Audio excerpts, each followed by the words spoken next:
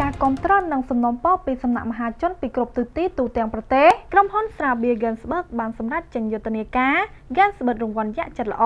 ចាក់សាំងម៉ូតូ free ជូនប្រជាពលរដ្ឋ4ទីតាំងផ្សេងៗគ្នាដែលរួមមាន1ថ្ងៃទី25ខែសីហាឆ្នាំ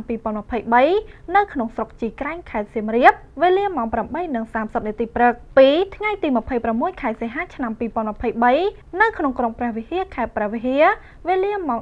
11:30នាទីថ្ងៃត្រង់3ថ្ងៃទី27ខែសីហាឆ្នាំ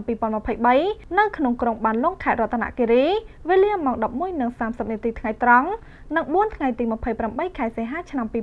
2023នៅក្នុងស្រុកកោះញ៉ាតខេត្តមណ្ឌលគិរីវេលាម៉ោង11:30នាទីថ្ងៃត្រង់គូបញ្ជាក់ផងថា កម្មវិធី Gensberg រង្វាន់យក្សចិត្តល្អចាក់សាំងម៉ូតូ free ធ្វើឡើងដើម្បីអបអរសាទរដល់អតិថិជនកំពូលសំណាងដែលបានទិញស្រាបៀរ Gensberg ទៅពិសាហើយគាស់ឈ្នះរថយន្តនិងម៉ូតូធំពីការកក់ក្រវិលកំប៉ុងស្រាបៀរ Gensberg សំពិសាដោយការទទួលខុសត្រូវនាងខ្ញុំមរកតពីកម្មវិធី60 Ber